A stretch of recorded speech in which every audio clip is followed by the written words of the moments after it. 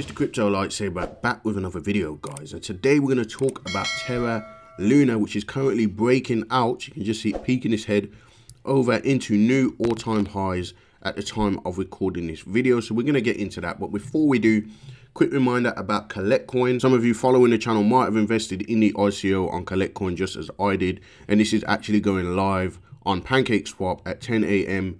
EST today. All right, guys. So I think that's about 3 p.m. my time. Um, I do recommend you follow them in their Telegram group to, you know, get updates on that in real time. One thing you can rest assured is that anyone that got in on the ICO won't be able to just dump their whole bag on the market because there is a vesting schedule for this.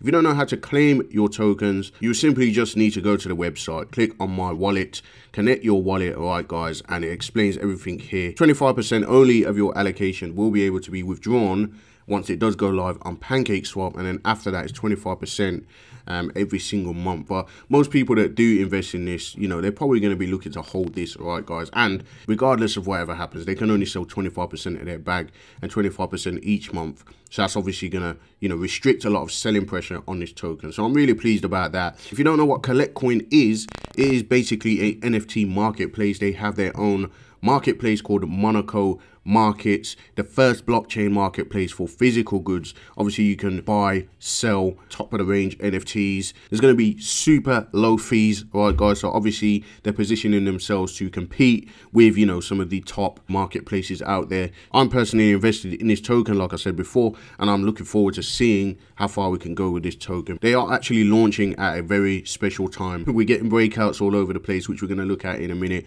But, you know, Monaco Markets, uh, Collect Coin, definitely definitely one you shouldn't sleep on. Launching on Pancake Swap this afternoon, all right, guys? So make sure you join them in the Telegram group and um, get updated in real time for that. Okay, guys? Let's talk about Luna because Luna is one that a lot of people are talking about. Luna is definitely a blue chip cryptocurrency sitting at around 20 billion in market cap. In fact, let's just check um, on coin market cap and make sure um, that is correct because I believe it might have changed because we have had a bit of a breakout since I last looked at the market cap. So 21.7 billion in market cap. The chart looks a little bit well, it looks good. It looks good, but you know there was a little bit of a a, a little scary face. All right, guys, for Luna, and I'm going to show you that now. So I'm going to draw a couple of lines. What we have is a rising wedge. There's a few ways we can draw this. All right, guys. So it might look a little bit messy. Okay, so we have this rising wedge.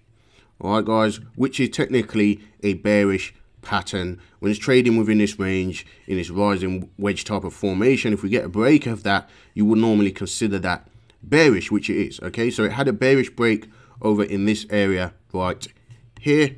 Okay, guys. And then what you would expect after that is that it will come up and retest and then we get further downside. Okay, guys. But that didn't happen on this occasion. It came up and it actually broke out at this level and now it's going up towards this resistance line up here. So what this shows to me is that the bulls are back in control. The bears got a little bit of control down here. It looked like it was going to fall to the wayside, but it's broken back out and now it is back in bullish territory. Okay, guys. Now, when you have a rising wedge like this and it does actually break bullish, out of this level over here, that will be super bullish and I would expect a lot of momentum to come into that. All right, guys, another way we can draw this pattern is a ascending wedge like this, obviously. If we just draw it like that, let's just, if we just draw it like that, and it looks like it could have just been coming over to retest a level over here. So whichever way you draw it, what you'll see is it has broken back in to that level there. Okay, guys, and if it does come up and then break this level over here, we're going to get a massive breakout to the upside. Now, one of the reasons why I believe that we can potentially be coming to test this level over here is that we have, if you look very closely, we've broken the previous all-time high. Okay, guys.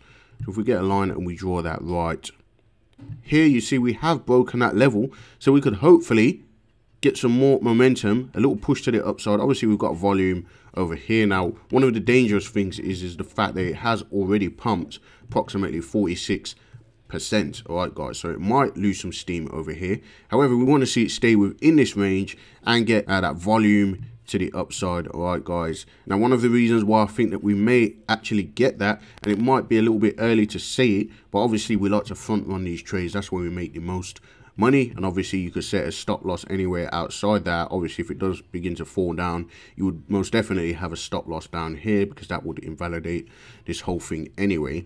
All right guys but if we look at the ethereum chart that will be the eth btc chart.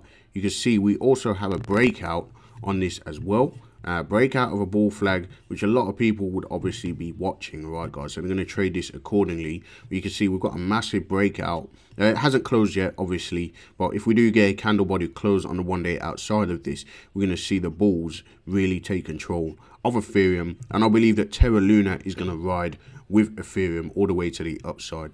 Terra Luna is a very bullish project, all right, guys, and there's a lot of bullish momentum in it because of the tokenomics. A lot of people are going to be transitioning into stable coins at the top of this bull cycle, and I believe that people are positioning themselves in Luna to take advantage of the you know stable stablecoin side of that all right guys they have uh, UST but then what happens is to get into UST you have to burn uh, Luna. All right guys so obviously that causes price appreciation in Luna. Every time Luna is burned that goes up. So anyone that's going to be cashing out into stable coins they're going to get a lot of benefits by cashing into uh, into uh, UST UST all right guys rather than USDT Terra a lot of people are using like Terra Luna as a um, an, an alternative.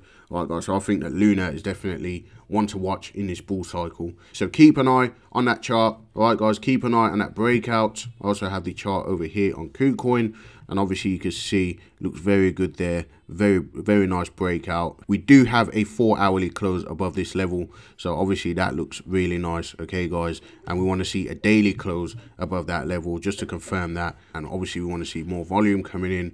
And we want to see this run with ethereum. So if ethereum breaks out i believe this is going to break out. I believe we're going to get a lot more volume into terra luna.